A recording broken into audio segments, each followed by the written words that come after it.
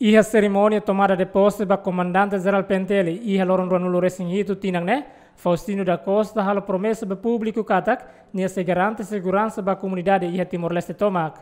Mas bem, a sociedade civil sira questiona a promessa comissário Faustino da Costa niang ne. Tamba considera comissário Pentele ne la realiza ne promessa tamba ikus-ikus ne grupo desconhecido balo halo provocação hori cria instabilidade iha fatu-fatin. Diretor Executivo Fundação Mahen, João Almeida Hateten, Comandante-Geral Pentele, promete uma segurança segurança para a comunidade durante horas de hat, mas bem contrário, caso crime husiloron baloron sempre acontece em Timor-Leste, onde resulta em mecânico no mate. Também Fundação Mahen, onde reduz crime e a capital dele no município Siracelo. João Almeida hatone preocupação né, para jornalista Sira e em serviço fato em fomento dele quinta-feira né. Porque casos Sira icus-icus né, acontece halo ema tau movimento e tempo kala halo ema tau la omesa.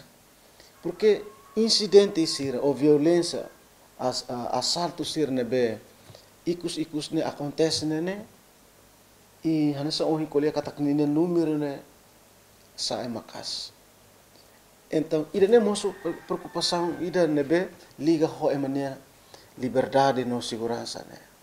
E hanesa comandante geral pentel na declaração bahir hahu si mu kenar nessa comandante geral no segundo comandante geral colia abertamente para público até se garante eh, segurança 24 horas basi cidadão todo lili e a capital lili e movimento ne 24 horas.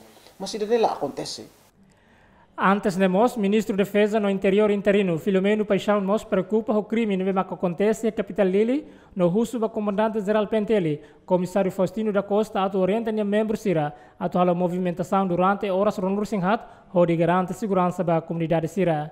Napoleão Xavier, Juvel da Costa, ZMN.